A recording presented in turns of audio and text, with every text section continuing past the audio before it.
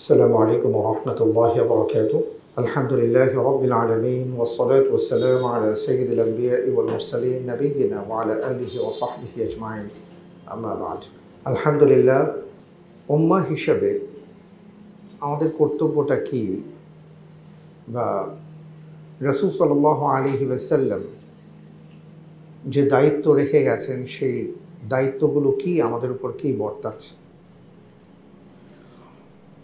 দেখুন, আমরা একটা সময় যখন ছোট থাকি, তখন আমরা জানি যে আমাদের চারপাশে যে সকল আপনজনেরা বসবাস করেন, প্রত্যেকটা মানুষের ওই ছোট্ট শিশুতার প্রতি কোনো না কোনো অবদান থাকে। শিশু তখন উপলব্ধি করে না, বুঝতে পারে না, তার বোঝার বয়স হয় না এই কারণে। সে যখন একটু একটু করে বড় হয়, বড় হতে হতে একটা নির্দিষ্ট বয়সে উপনীত হয়, বুদ্ধিদীপ্ত হয়, দায়িত্ববোধ বাড়ে, তখন সে বুঝতে পারে যে সে এ পর্যন্ত এসছে এবং তার পেছনে বা তার কেরিয়ারের পেছনে, তার সফলতার পেছনে অনেক মানুষের অবদান ছিল। এবং সে অবদান যদি স্বীকার করতে পারে এবং অবদানের কারণে সে যদি তাদেরকে স্বীকার করে, তাদের প্রতি কৃতজ্ঞ থাকে এবং তার ভিতরে যদি দায়িত্ববোধ তৈরি হয়, তাহলে আমরা তাকে সমাজে ভালো মানুষ বলে জানি এবং জানি যে না উনি দায়িত্বের ব্যাপারে সচেতন। বাংলা ভাষায় আমরা যাকে বলি যে, উনি বেইমান নন। কিন্তু যদি দেখি যে এই মানুষটা একটা পর্যায়ে তার আপন মানুষদেরকে ভুলে যায়, তখন আমরা তাকে বলি যে, কি করে আপনি আপনার আপনজনকে ভুলে গেলেন বা এদেরকে ভুলে গেলেন? আমরা প্রায় দেখি কিন্তু এমন। যে প্রথমত মা বাবার কথা যদি আমরা বলি যে, মা বাবা তার সন্তানের জন্য সবটুকু করেন, সর্বোচ্চটুকু করেন। তো একটা পর্যায়ে সন্তানের উপর দায়িত্ব বর্তায় যে, এই মা বাবা এখন তার জন্য আমানত হয়ে যায়। একটা সময় সন্তান মা বাবার কাছে আমানত ছিল, যখন সন্তান কিছু বুঝতো না, সন্তান কিছু করতে পারতো না, সন্তানের কোনো কিছু করার কোনো সক্ষমতা ছিল না। তখন আল্লাহ রব্বুল আলমিন মা বাবার কাছে সন্তানকে আমানত হিসাবে দিয়েছেন যে, কিন্তু আমানত তাকে সেইভাবে যথাযথভাবে ব্যবহার করো। এবং এই আমানতের পুরোপুরিভাবে, যথাযথভাবে, এই আমানত যেভাবে সংরক্ষণ করা যায়, সেইভাবে করো এবং মা বাবা তাই করেন। ঠিক এটা আবার সময়ের বিবর্তনে এটাকে চেঞ্জ করে দেওয়া হয়। এবার সন্তানকে বলা হয়, তোমার মা বাবা তোমার কাছে আমানত। এখন যে যুগের যে সময়ে যে আমানতের সংরক্ষণ করতে পারেন না, খেয়ানত করেন, স্বাভাবিকভাবে উনি ভালো মানুষ না। এটাই তো স্বাভাবিক। আমরা জানি যে রসুল সাল আলী ওয়াসাল্লাম পৃথিবীতে আসার পরে নববত পরবর্তী সময় থেকে নিয়ে আমৃত্যু যদি আপনি টোটাল সময়টা দেখেন, আট হাজার প্লাস দিন। এই পুরো সময়টা তিনি তার উম্মতের জন্য ব্যবহার করেছেন, উম্মতের কল্যাণে নিয়োজিত করেছেন এবং উম্মতের জন্য নিবেদন করেছেন। কারণ তিনি জানেন যে এটা নবুয়তের দায়িত্বটা একটা মহাপবিত্র আমানত এবং এই আমানতের দায়িত্ব তিনি পালন করেছেন। আর এই কারণে বিদায় হজে তিনি বলেছেন, আমি কি আমার আমানত পরিপূর্ণভাবে পৌঁছে দিতে পেরেছি কিনা? সেখানে যারা উপস্থিত উম্মা ছিলেন, তারা সবাই বলেছেন যে হ্যাঁ আপনি আপনার যে দায়িত্ব সেই দায়িত্বটা আপনি পরিপূর্ণভাবে আদায় করেছেন। এই কথা বলার মাধ্যমে যেটা হয়েছে, সেটা হলো, এবার আমানতটা এক জায়গা থেকে আরেক জায়গায় পরিবর্তন হতে যাচ্ছে। রাসুল সাল আলী সাল্লামের তেইশ বছরের জীবনে উম্মার জন্য তার কাছে যতগুলো আমানত ছিল, সকল আমানতগুলো তিনি যথাযথভাবে সংরক্ষণ করেছেন, ব্যবহার করেছেন। এবার সময় হয়েছে উম্মার কাছে আমানত গচ্ছিত রাখার। প্রশ্ন হলো, উম্মার কাছে কি আমানত তিনি রেখে গেলেন এবং আমাদের সেই আমানতটা কি এবং সংরক্ষণের দায়িত্বটা কি? সেটা যদি এক ভাষায় বলি, যে রসুল সাল্লাহ আলিয়াল্লাম কয়েকভাবেই সেটা বলে দিয়েছেন। তারক্ত ফিকুম আমরাইন লান তাদিল্লু মা তামাসসাকতুম বিহিমা। কিতাব আল্লাহ ওয়া সুন্নতি কিতাব আল্লাহ আহলি বাইতি এইভাবে বলেছেন। যে আমি তোমাদের মাঝে দুটো জিনিস রেখে যাচ্ছি। এবং আমার পরে এই দুটো জিনিসকে তোমরা আঁকড়ে ধরে থাকবে। কখনো এ থেকে সরে যেও না, বিচ্যুত হও না। এই যে দুটো জিনিস রেখে যাচ্ছি, এটাই হলো দুটো আমানত তোমাদের কাছে আমি রেখে যাচ্ছি। আরেকটা বর্ণনায় ও দুটো জিনিসের কথা আসছে, কিন্তু জিনিস পাচ্ছি আমরা তিনটা। কোরআন সুন্না আহলে বাইত। আহলে বাইত বলতে রসুল সাল্লাহ আলী সাল্লামের পরিবারের সকল সদস্যবৃন্দ। আমাদের কিছু ভাইরা আছেন যারা আহলে বাইত বলতে শুধু পাঁচজনকে বোঝেন, এর বাইরে তারা আহলে বাইত বুঝেন না। এবং এগুলোর কিছু নামও তারা দিয়েছেন। কিন্তু মূল ব্যাপার হলো আহলে বাইত বলতে রসুল সাল্লাহ আলী ওসাল্লামের রক্তের ধারায় যারা আছেন, তারা প্রত্যেকে আহলে বাইতের অন্তর্ভুক্ত। তার সহধর্মিনীগণ তার কন্যা পুত্র এবং তারপরে যারা এসছেন। তো তিনি আমাদের কাছে যে আমানতটা রেখে গেছেন, তার মধ্যে মৌলিকভাবে দুটো আমানত আমাদের কাছে কেয়ামত পর্যন্ত থাকবে।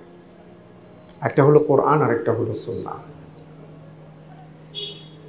তো এই আমানত মূলত তিনি আমাদেরকে রেখে গেছেন এবং তিনি ভালোবাসবেন এটাই যে তার উম্মাহ যখন এই দুটি আমানতের উপর ভিত্তি করে তার জীবনকে পরিচালনা করবে। সন্তানকে অনেক কষ্ট করে মা বাবা লালন পালন করেছেন, বড় করেছেন। সন্তান বড় হয়েছেন, অনেক কিছুর মালিক হয়েছেন। তো স্বাভাবিকভাবেই সন্তানের কর্তব্য হলো যে মা বাবার দেখভাল করা। এখন যদি দেখা যায় যে সন্তান প্রতিদিন সকালবেলা, বিকালবেলা, সন্ধ্যাবেলা আসেন আর মা বাবার সামনে বসে বলেন, আমি তোমাদেরকে অনেক ভালোবাসি, কিন্তু মা বাবার ঘরে খাবার নেই। মা বাবার বিছানা নেই, মা বাবার থাকার ভালো ব্যবস্থা নেই। সন্তানের অঢেল সম্পদ কিন্তু সন্তান সকাল বিকাল আসে আর এই কথা বলে, অনেক ভালোবাসি আমি তোমাদের। কিন্তু ভালোবাসার নমুনা নমুনা হলো এটাই যে মা বাবার জামা কাপড় ঠিক নেই, ছেঁড়া ফাড়া জামা কাপড় পরা খাবার ঠিক নেই বিছানার ঠিক নেই, থাকার ঠিক নেই। সন্তান চাইলে মুহূর্তের মধ্যে সব চেঞ্জ করে দিতে পারে, সব ব্যবস্থা করতে পারে, কিন্তু সে শুধু মুখেই বলে যাচ্ছে। আর আরেক ধরনের সন্তান হলো যে সব ব্যবস্থা করে মা বাবা যেন উফ শব্দটা ব্যবহার করতে না পারেন, এটার প্রতি তিনি খুবই সজাগ এবং সচেতন। কিন্তু এটা উনি মুখ দিয়ে ওনার বলার প্রয়োজন মনে করেন না। উনি জানেন যে আমার মা বাবা ওনাদের ঘামে আমি বড় হয়েছি। ওনাদের পরিশ্রমের ফসল আমি, সুতরাং ওনাদেরকে কোনো কষ্ট করতে দিব না। এখন ওনাদের কষ্টের সময় না। এখন আমাকে, ওনারা যে আমাকে ঋণই করেছেন, ঋণ পরিশোধ করা সম্ভব না, কিন্তু কিছুটা হলেও আমার নিজের প্রতিত্বের জন্য এমন কিছু করা দরকার যেটা আমি নিজে পরিতৃপ্ত হব এবং বলতে পারব যে আমি কিছু করতে পেরেছি। ঠিক এমনি করে আল্লাহ রসুল সাল্লাহ আলী সাল্লাম তার উম্মার জন্য যা যা করার সব করেছেন। সব। একেবারে যত দায়িত্ব আছে, সকল দায়িত্ব তিনি পালন করেছেন। এটা নিয়ে আমরা অনেক আলোচনা করেছি এর আগে। সিরাত গ্রন্থগুলোর মধ্যে আসছে। একজন মানুষের সবচেয়ে ক্রান্তিকাল সবচেয়ে কঠিন সময়, সবচেয়ে ভয়ঙ্কর সময়, সবচেয়ে সঙ্গীন সময় হলো তার মৃত্যুর সময়। মানুষ তখন তাকে ছাড়া আর অন্য কাউকে ভাবতে পারে না, কল্পনাই করতে পারে না। নিজের সন্তানকে পর্যন্ত মা ছেড়ে দেয় ওই মুহূর্তে। রসুল সাল্লাহ আলিয়াল্লাম সেই সময়ে আমানতের ব্যাপারে কতটা সচেতন? যে মৃত্যুর আগে তিনি দু চারটি যা বলেছেন, শব্দ ব্যবহার করেছেন, তার মধ্যেও এটা। আল্লাহ মকফিল্লে উম্মাজি হে আল্লাহ, আপনি আমার উম্মতকে ক্ষমা করে দিন। আসলা আসলা ওমা মেলাকাতা ইমান উপ নামাজকে ছেড়ে দিও না। এবং তোমাদের কর্তৃত্বে যারা আছে, তাদের প্রতি সদয় হও। এই যে বিষয়টা, তার মানে হলো যে তিনি তার আমানতের ব্যাপারে কতটা সচেতন ছিলেন। এখন রসুল সাল আলী ওসাল্লাম চলে গেছেন। আমাদের আমাদের উপর দায়িত্ব দিয়ে গেছেন। সে দায়িত্বের মৌলিক তত্ত্বটাই হলো, মুখে আমরা ভালোবাসার নাম বললে হবে না, বরং আমাদের কাজ এবং কর্মে রসুল সাল আলিহি ওয়াসাল্লাম যেটা ভালোবাসতেন, যেটা করতে ভালোবাসতেন, যেটা শুনতে ভালোবাসতেন, যেটা দেখতে ভালোবাসতেন এই সব কিছু আমাদের আয়ত্ত করতে হবে, আমাদেরও প্র্যাকটিস করতে হবে। তাহলে আমরা আমাদের আমানতের সংরক্ষণ করতে পারব। আর এটার জন্য যেটা দরকার, সেটা হলো বারবার একই কথা আমরা বলি যে রসুল সাল্লাহ আলহি আসাল্লামের জীবন সম্পর্কে আমাদের জানা দরকার। আজকের গোটা পৃথিবীতে কিছু কিছু জায়গায় আমরা দেখি যে দুটো শব্দ নিয়ে আমাদের অনেক চর্চা হয়। মিলাদুলনবী সেরাতুলনবী বলে সেরাতুলনবী যদি হয় সমুদ্র মিলাদুলনবী হবে তার একটা শাখা। কারণ হলো মিলাদুলনবী শব্দের মানে হলো রসুল সাল্লাহ আলী আসাল্লামের জন্ম বৃত্তান্ত। কারণ জন্মদিন এটা নিয়ে আমাদের কোনো কাজ নেই। জন্ম বৃত্তান্ত, এটা আমরা রাখ, এটা আমরা রাখব, অবশ্যই আমাদের দরকার আছে। কিন্তু সেরাতুল নবীর মানে হলো রসুল সাল্লাহ আলি সাল্লামের পুরো জীবনী। তো পুরো জীবনীটা যদি সমুদ্র হয়, তাহলে তার একটা শাখা, একটা পার্ট হবে কি? মিলাদুল নবী রসুল সাল্লাহ আলি সাল্লামের জন্ম বৃত্তান্ত। কারণ রসুল সাল্লাহ সাল্লামের পূর্ণ জীবনীর মধ্যে জন্ম বৃত্তান্তটাও তার একটা পার্ট তা আমরা দেখা যাচ্ছে যে মহাসমুদ্র রেখে শুধু শাখা পোশাখা নিয়ে চিৎকার, চেঁচামেচি বা আওয়াজ করছে, ওয়াজ করছে।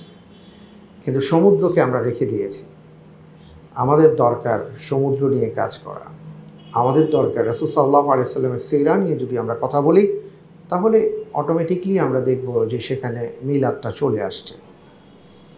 আর এটার মূল ব্যাপারটাই হলো এটা যে যখন আমরা রসুল সাল্লাহ আলিয়াল্লাম সম্পর্কে জানতে পারব টোটাল লাইফস্টাইলটা যখন আমরা জানব, বিশেষ করে বিশেষ করে আমাদের যেটা দরকার সিরাতের মধ্যে, যে নবুয়তের সময় থেকে নিয়ে ওনার ইন্তেকালের আগ মুহূর্ত পর্যন্ত। কারণ এটা হলো আমাদের জন্য টোটাল সেরিয়া। এর আগেরটা আমাদের উপর সেরিয়া নয়। এই সময়টা আমাদের বেশি দরকার জানা, কারণ এই সময়টার মধ্যেই আমাদের প্রত্যেকের জন্য জীবনের নীতি নির্ধারণের ক্ষেত্রে যে সকল উপাদান প্রয়োজন, তার সকল উপাদান আল্লাহ রসুল সাল্লাহ আলিয়াল্লাম আমাদের জন্য রেখে গেছেন সুলহান আল্লাহ এই জন্য তার জীবন সম্পর্কে, জীবনী সম্পর্কে আমাদের জানা দরকার, অপরিহার্য। سبحانك اللهم بحمدك أشهد أن لا إله إلا أنت أستغفرك وأتوب إليك. السلام عليكم ورحمة الله وبركاته.